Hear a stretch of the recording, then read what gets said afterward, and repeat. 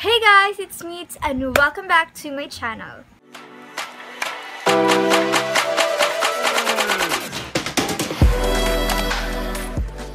So sa video to, halata naman sa title, charot, halata naman sa title na ang gagawin natin ngayon ay makeup tutorial. And of course, yung gagawin nating makeup tutorial ay eto makeup na look na to, etong look na to. Itong makeup tutorial na to pala is nagawa ko dahil sa sobrang boring dito sa bahay. Like, seriously.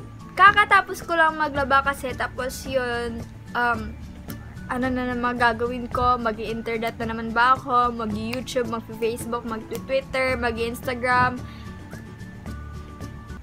Boring. So, syempre, napag-isipan ko na gumawa, na lang ng makeup tutorial kasi para naman taste. Diba? So, wag na natin patagalin to. Let's get started. So, before we start, dapat mag alcohol muna tayo para maglinis sa ating kamay. So, ito. Spray. So, mag-moisturizer muna tayo kasi ang dry ng face ko ngayon. Pero dry naman talaga siya.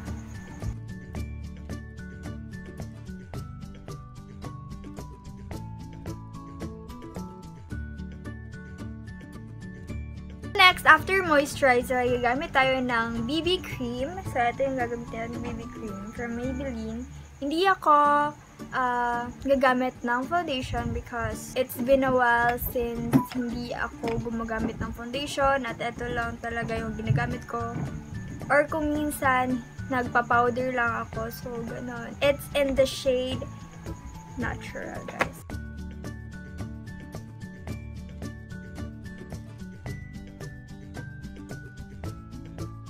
Gonna use this brush.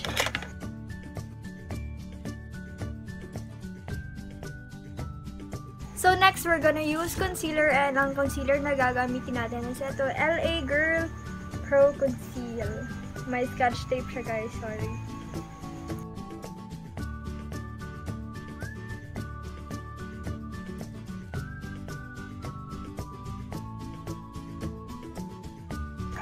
Takpan natin yung mga unwanted na mga bagay-bagay dyan. Katulad ng pabibong pimple ko dyan.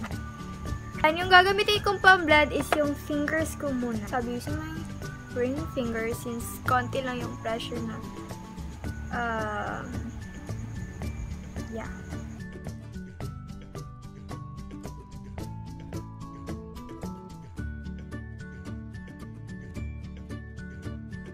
Pagkatapos i-blend na ating kamay, i-blend natin siya gamit ang brush. Of course, madami tayong arte ngayon. But, yeah. So, tapos na tayo mag-concealer ngayon, ay isi-set na natin siya ng powder. And, yung powder na gagamitin ko is actually a combination of powders. Yung, basta, hirap i-explain sa nakakainis. Galing siya sa mga powders na na nag-crack or yung konti na lang tapos minix ko na lang sila. So pareho din lang din ng shade. So eto gagamitin natin. Para siyang setting powder. Lagyan dito. Diba? Para siyang setting powder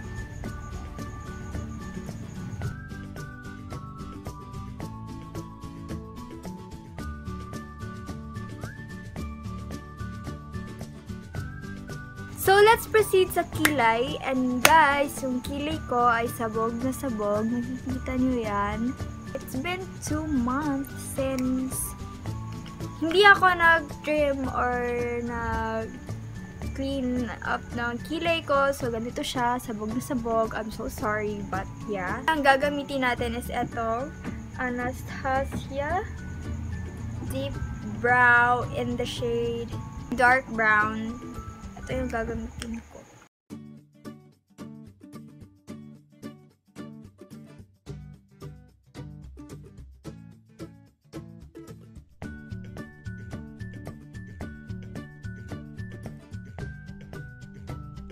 So, let's proceed. I-clean up muna natin yung edges. So, we're gonna use the same concealer sa pag-clean up ng ating brows. And yung gagamitin natin applicator is ito.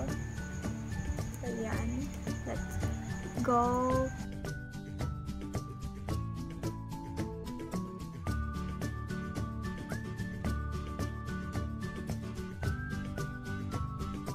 Gonna use this brush, itong pointer na to, para i-blend yung concealer.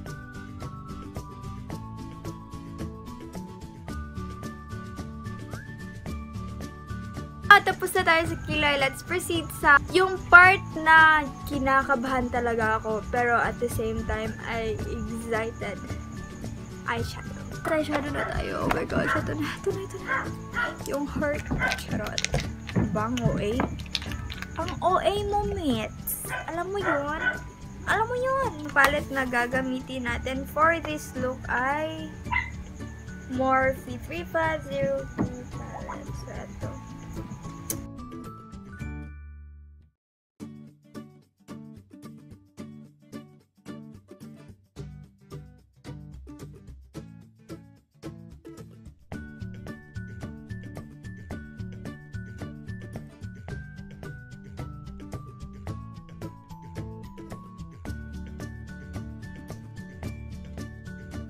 Using the same brush and same color is dadagdagan natin. Will make this more pop up na red.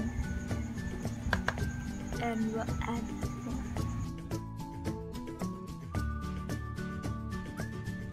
Now guys, we're gonna use this brush to blend out para hindi masyadong ano, hindi masyadong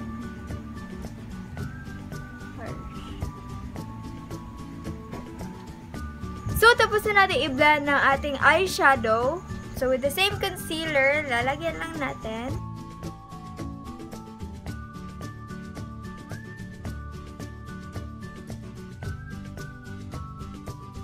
Then, we're gonna add this color, this one. We're gonna use, again, our ring finger para kumuha ng product. Then, ilalagay natin siya dito sa nilagyan natin ng concealer. Just, just tap it, guys. Using this color here, ay lalagyan natin ng eyeshadow yung ating lower lash line. Tapos, same with the glitters. So, tapos na tayo sa ating eyeshadow. Let's put eyeliner and I'm gonna use this Ashley eyeliner. So, for the eyeliner, guys, is lalagyan na natin ng konting wing yung mata natin. Tapos, hindi na natin siya lalagyan dito kasi lalagyan natin ng falsies mamaya.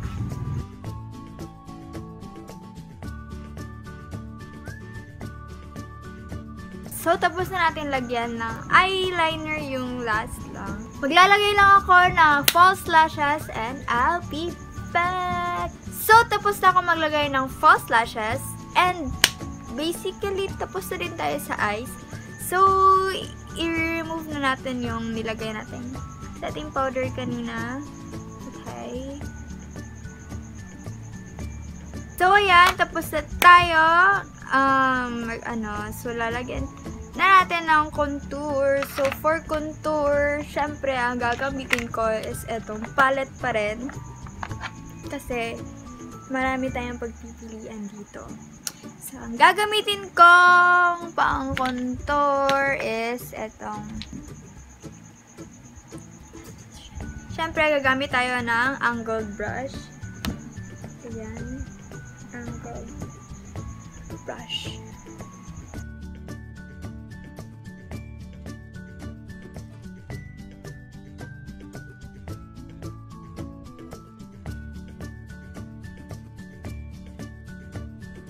Siyempre, maglalagay din tayo sa nose. So, gagamitin ko is yung fingers ko. Itong dalawang index finger na to.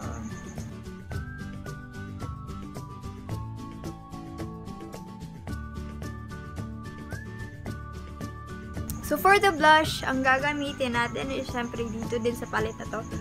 I don't know, I just like the colors dito sa palette na to. So, gagamitin ko is itong medyo pink. Pero, light, I mean, konti lang yung gagamitin natin. Syempre, gagamitin ko na tong flat brush kasi eh, ginamit to eh. Ewan ko kung sinong gumamit nito. I think si mama. Basta naging kulay ganito na lang. So, ito yung ginamit niya. And I'm, I'm gonna use this na lang.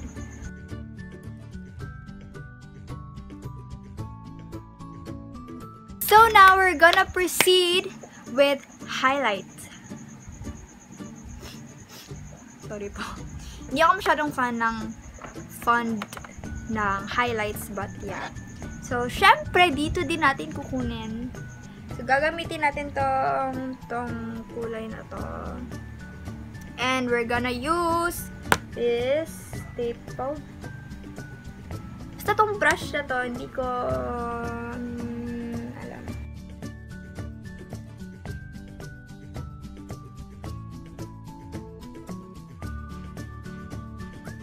Then, I'm gonna use my fingers para sa brow bone ko.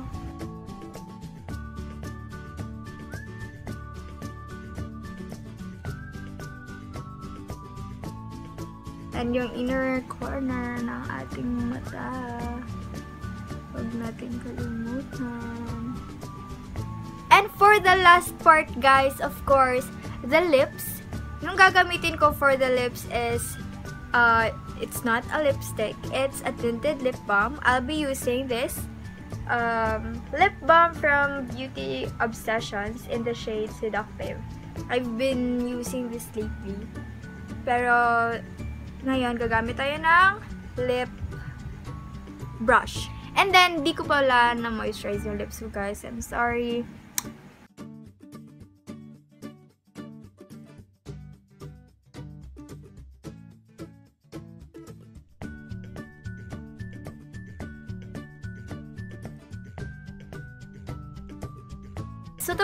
Tayo, guys. And, I'll just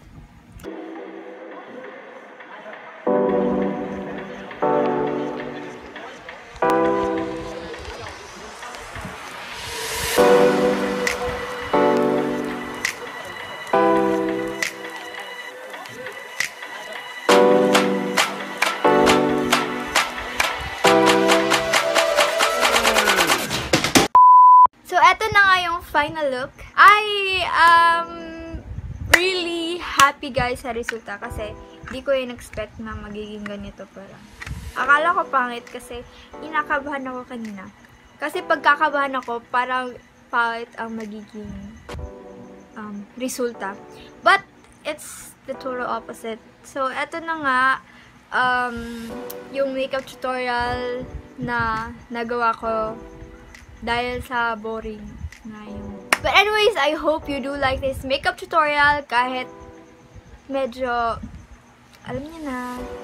Please subscribe to my channel and don't forget to click the thumbs up button down below. Comment any suggestions for my next videos. And yeah, see you in my next video. Bye-bye.